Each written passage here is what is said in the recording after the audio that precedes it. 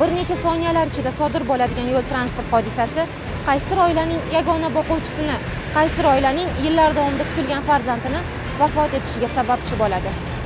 Faylasuf seneka shunday degan ekan jinoyat sodir bo'lish jarayoni emas balki u keltirib chiqaradigan oqibat og'irroqdir. O'zingizga bo'lgan yolg'on ishonch sababli o'zgalarni baxtdan ayirib qo'ymang. Yo'l harakati qoidalariga rioya qiling. Tezlikni oshirmang. Bu sizning fuqaroviy majburiyatingiz hamda insoniy burchingizdir